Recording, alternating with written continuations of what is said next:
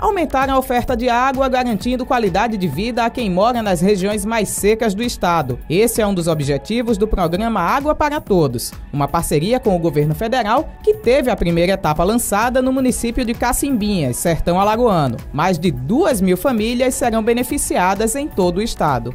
Lançamos aqui os primeiros 47 sistemas de 160 que serão feitos. Rapidamente nós já estaremos inaugurando.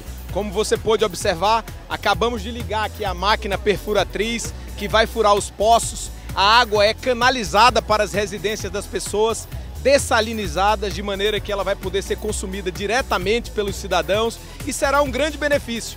Tenho dito à comunidade que é fundamental a organização deles para que eles possam gerir é, em parceria com a Secretaria de Meio Ambiente e Recursos Hídricos do Estado de Alagoas. Está presente aqui o secretário Alexandre Aires gerir esses sistemas com eficiência e aumentar a oferta d'água para todos. Primeiramente Deus, abaixo de Deus, o governo, que foi quem nos trouxe esse, esse programa.